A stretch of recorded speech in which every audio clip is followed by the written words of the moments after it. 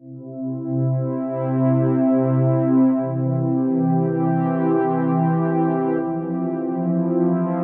いのでですね朝の6時37分の出勤になってます。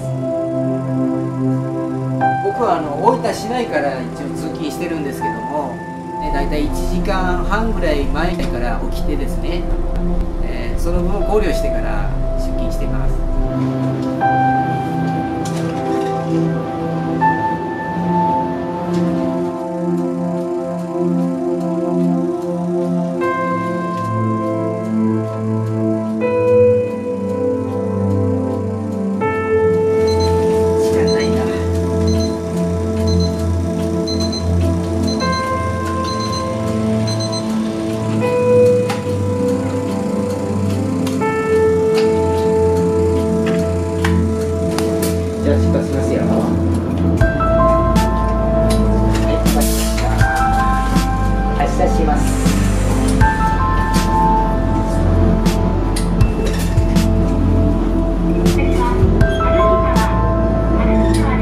別府はですね温泉が、えーまあ、日本一世界一っていうことで有名な、えー、別府市なんでですねそこで働かせていただいているっていうことはすごくいいなとあの自分自身は、はい、思ってます。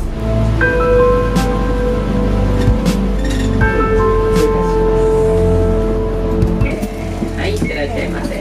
はい、ステップが滑りやすくなっています。気をつけてください。はい、いらっしゃいませ。お気をつけて。この2年前から運転士になったんですけども、一応まあ、別府市の方でお世話になってますけどもどこもいいいいことばっかりなんですが特に APU の方とですねいろいろ学生さんと、まあ、毎日いろいろ交流ができてすごく楽しいなと思います。外国から来られて日本語も回らないのに一生懸命勉強されてですね日本におられるっていうことはすごくまあ大変でしょうけどなんか素晴らしいことをされてるのかなっていうことをやっぱり毎日感じてます。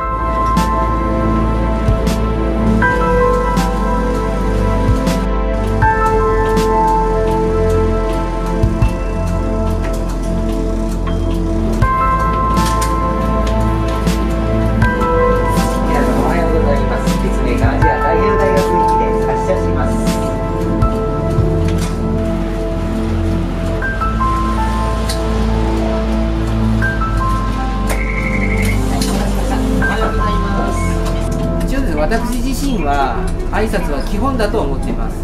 だから気持ちよく挨拶したら相手の方も気持ちいいんじゃないかなと思ってですね僕も挨拶させていただいてます。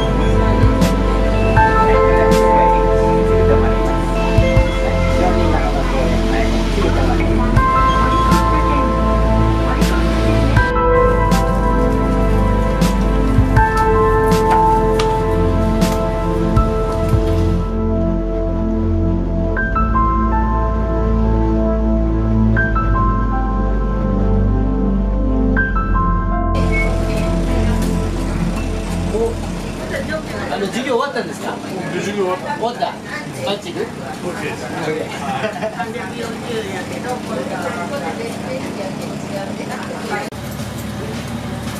はい、お疲れ様でした。お気をつけて。はい、お疲れ様でした。お気をつけて。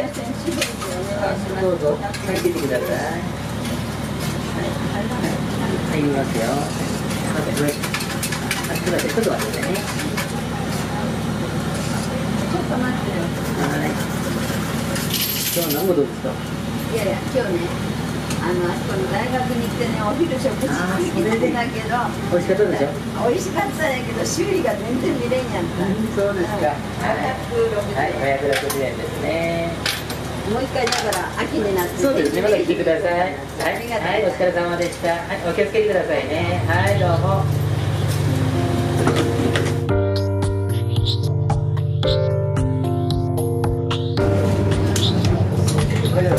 ありがとうございました。まもなく終戦立命館アジア第4大学前ですお降りの際は忘れ物がないようご注意ください本日も本宅を通るバスをご利用いた。だきまして誠にありがとうございますはいお疲れ様でした。到着です雨のた。め滑りやすくなっています気をつけてくださいはいらっしゃいませお気をつけやはり一番はですね運転手さんどうも今日はですねあの一日はいあのありがとうございました。ということであの降りる際にですねそのお礼の挨拶をしていただくっていうことがすごくあの仕事に対してやりがいがあるかなというようなことは自分は思ってます挨拶をした場合にこう返答してもらえないとかそういう時はちょっとああその私の挨拶がまずかったのかなそれともあの相手に対してちょっと悪いことを言ったのかなとかちょっとそういう時に気になってですねまあ一日楽しいですよ。まあその悪いってことはあまりないかなって思ってます。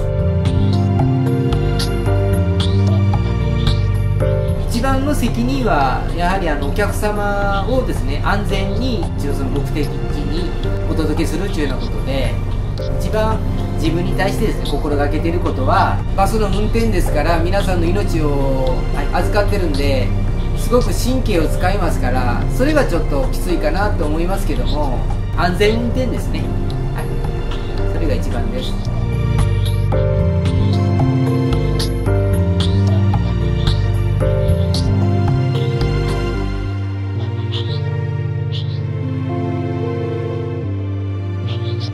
今日いいやろ。いやそうでもない私には今。僕さっき満車やった。そうですか。これ？